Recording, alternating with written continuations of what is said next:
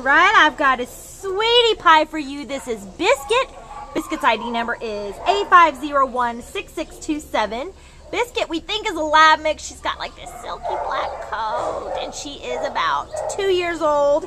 And she came in as an owner surrender on December 4th. Biscuit weighs 35 pounds, so she's a pretty small girl. And what else can you tell us about Biscuit, Jana? Um, she is just totally shut down. She came in with some other dogs, and they all kind of seem to be like this, so could be they just haven't been socialized. But she Yeah. actually is responding well to touch, um, so I think she's going to be a quicker kind of recovery when she gets out of here. Um, she's got some cherry eye. Yeah. She needs to be taken care of when she gets fixed. Um, but she's And that is just- easy to take care of, by the way, if you're not familiar with that. Yeah.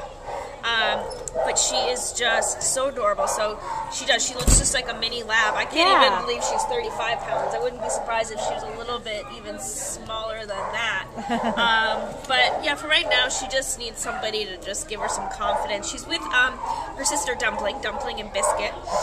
Um, they're uh, they're really quite bonded. We'd love it if they could go together, but also as long as they can get out of here, I think once they're out of here, they'll be okay.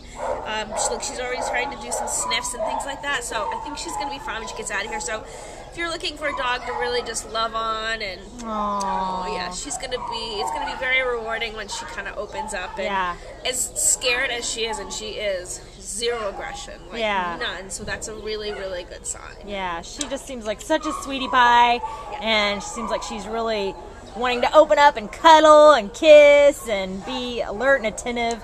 Um, so all those great qualities, and of course, if you're familiar with labs, of course, she's got got that fabulous lab labness in her. She's like, not ready for kisses yet.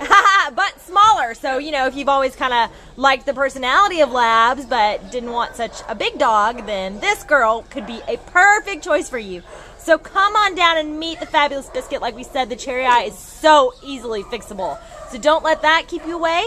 Um, she's amazing, and you just have to meet her, and you can fall in love with her like we did.